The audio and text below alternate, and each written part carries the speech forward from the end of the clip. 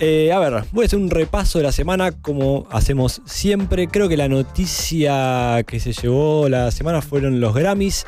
Por lo menos en Twitter Argentina eh, hubo un debate muy grande entre los que bancaban la performance de J Balvin con María Becerra y los que no.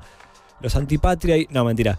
Pero hubo un gran debate, lo vamos a dejar ahí. Eh, acá, en lo personal, la bancamos a María, a Becerra y por supuesto a J Balvin también. Eh, hablando de los Grammys, creo que lo que más nos compete es la categoría de rap y por eso voy a empezar a eh, repasar un poquito las eh, categorías y quiénes fueron los ganadores.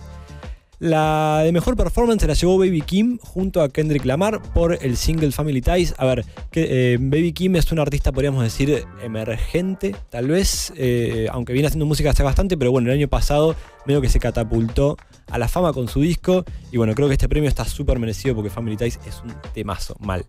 Después tenemos, mejor canción se lo llevó Kanye con eh, Jay-Z eh, por el tema Shale que está en Donda. Kanye que tuvo una, una relación medio rara eh, desde siempre con los Grammy. De hecho, hace un tiempo había subido a Twitter un video de sus premios Grammy en el inodoro mientras los meaba, bastante polémico. Eh, y bueno, y por último, creo que la, quizás la categoría más importante dentro de, la sección de rap es la de mejor álbum y se la llevó de nuevo Tyler Creator. Y digo de nuevo porque en su último disco, digamos su anterior, eh, el que sacó el año pasado fue Call Me If You Get Lost y el anterior de 2019 fue Igor. También se llevó el premio a mejor álbum.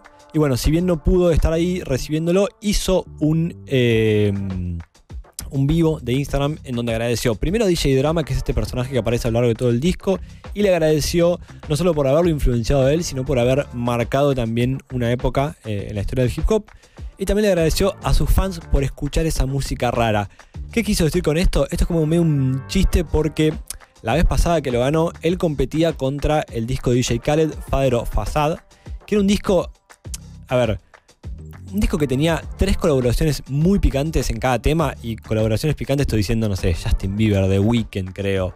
Eh, Sisa, como gente muy muy pesada y estaba lleno de featurings, era como una bomba de marketing que estaba destinado a ganar. Y bueno, le ganó Igor y entonces eh, DJ Khaled subió un video bastante indignado diciendo como, pero ¿cómo puede ser si yo, yo hago música para todo el mundo, hago música para que la escuchen las barberías, como diciendo, hago música popular y me viene a ganar esta música extraña, esta música oscura que nadie escucha? Bueno, en realidad sí la escuchaban y claramente DJ Khaled estaba errado, eh, por lo menos en lo que resonaba con la cultura en ese momento y lo que resuena hoy en día también. Eh, también pasó a contar el significado del nombre de Call Me If You Get Lost y acá lo voy a leer traducido, algunas cosas por ahí quedan medio raras como el nombre del disco. Dice, cuando digo llamame si te perdés, Call Me If You Get Lost, no me refiero a cuando no sabes qué hacer, me refiero a que cuando me llames quiero que me cuentes sobre vos, sobre el que estuviste haciendo. Vos allá en el mundo perdiéndote haciendo lo tuyo. No quiero que me llamen y me digan, uy, estoy triste. No sé. Eh, eso es un poco lo que tenía para decir Tyler, The Creator, sobre el nombre de su disco. Pasando a la segunda noticia, tenemos a eh, Jack Harlow, este personaje que, bueno, todos lo conocemos por What's Popping, y parece que en Argentina es muy querido porque en La Palusa se viralizó eh, la forma en la que lo recibía la gente, se viralizó también su reacción ante eso, que no podía creer cómo la gente agitaba tanto sus temas. Bueno, ese mismo artista va a sacar su segundo disco que se llama Come Home, The Kids Miss You, que va a salir el 6 de mayo. Siguiendo con la tercera noticia, tenemos otro disco, que es el de Pusha T, que lo anunció también que va a salir dentro de poco. Pusha T eh, recordemos que venía a sacar en 2018 Daytona, un discazo producido por, por. Si no lo escucharon, vayan a escucharlo porque es una masa. Eh, y bueno, lo único que dijo es que el material va a tener 12 canciones y además dio a conocer un single junto a Jay-Z y Farrell, o sea, bien picante, llamado Neck and Wrist. Después, en la cuarta noticia tenemos a eh, un compañero rioplatense, podríamos decir, el rapero uruguayo Arquero, que pasó por el piso de Vorterix creo que más de una vez. Eh, sacó otro disco, ahí estamos viendo un poco de uno, de sus videos.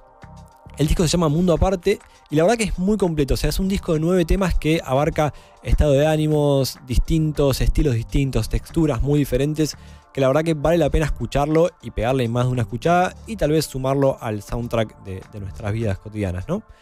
Y por último, la quinta noticia de la semana es que se anunció el Festival Nación Urbana. Se supone que es el festival más importante de hip hop, o así lo describe el material de prensa, pero si analizamos un poco el lineup nos damos cuenta que efectivamente es así. Tenemos en el lado nacional artistas de la talla de Acru, Omen el Mero Mero, TK, Rompe 99. Si nos vamos a los artistas españoles, hay figuritas como Proc y Fernando Costa, así que va a ser una bomba. Es el día 25 de mayo a las 3 eh, de la tarde en obras, así que seguramente estemos por ahí o viendo o haciendo algo. Esas fueron las noticias de la semana, un pequeño repasito. En minutos nada más viene Walty a hablar un poco de sus últimos lanzamientos, pero de la vida en general y de la música, por supuesto, que siempre es lo primero. Ahora nos vamos a ir a eh, escuchar un tema que es Alright de Kendrick Lamar y ya venimos con más Urbans.